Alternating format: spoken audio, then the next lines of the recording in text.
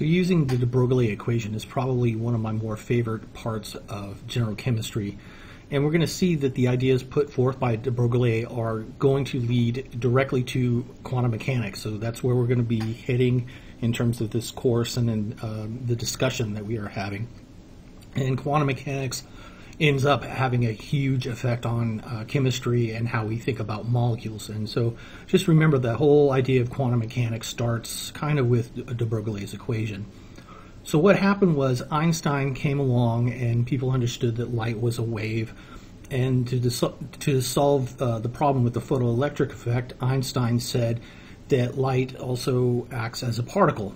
And what de Broglie did said, well, you know, particles – kind of the same idea. They act like part, you know, particles act like particles, but then he put forth the ideas that something that's a particle also has a wavelength associated with it. So all matter has, uh, if it's in motion, has a wavelength associated with it, and this is a very important idea. So he said that anything, you know, anything with mass, if it's moving, there's a wavelength associated with it, and this is the same wavelength that we're talking about, uh, like we were talking about with light. Uh, so here's uh, de Broglie's equation, and the wavelength of whatever we're talking about is directly related to the mass of the particle, and you got to remember the mass needs to be in kilograms. So this is one of the, the, the kind of the traps here, and this is because our energy is in joules. And remember, a joule is a kilograms meters squared per second squared. So a joule, when you see it, has a kilogram as a unit cleverly hidden inside of there. So you have to remember that the mass that we use of our object or our particle needs to be in kilograms. U is just the speed of our object in um, uh, meters per second. And uh, what we're going to find out uh, is that really Broglie's equation only comes into play when we're dealing with small objects that are moving at a very uh, high rate of speed. That's the only time where the wavelength actually um, is at a size that we can kind of comprehend. So the classic use of de Broglie's equation is looking at the wavelength of um, an electron. So I have an electron and I say it's traveling at 5% of the speed of light. So um, here I, I take 5% of our speed of light, so I'm saying that my electron is moving at 1.5 times 10 to the 7th meters per second. And we know what the mass is of an electron, but remember I need to convert that mass to kilograms.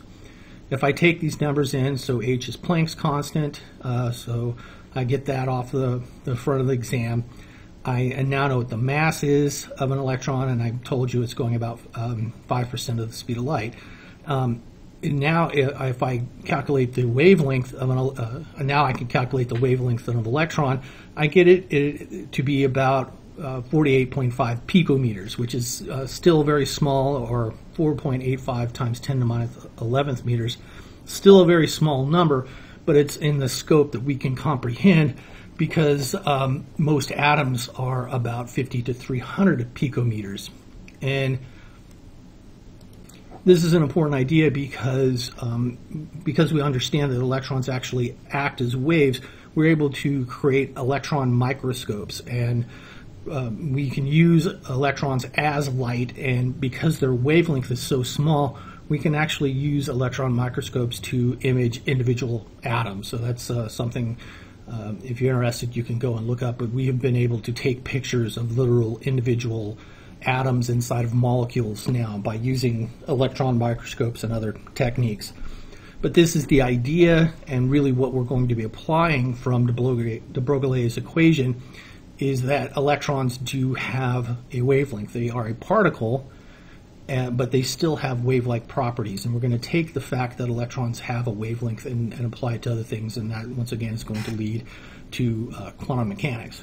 And like I said, anything with a mass that is moving has an associated wavelength, but unless it's very small and moving very fast, the wavelength becomes uh, uncomprehendable. So uh, another example, and you can try to take these numbers and uh, check my answer here, but if I have a baseball that weighs about 150 grams and it's being thrown at 90 miles per hour, the baseball actually has a you know, technically has a wavelength, but that wavelength is very, very small. So I calculated a wavelength, wavelength of being 1.2 times 10 to the minus 34th meters. So the the baseball does have a wavelength, but the wavelength is so small that we really can't even comprehend it. So most of what de Broglie's equation about is looking at the wavelength of electrons, and we will be seeing that, uh, discussing that more as we continue on in this textbook.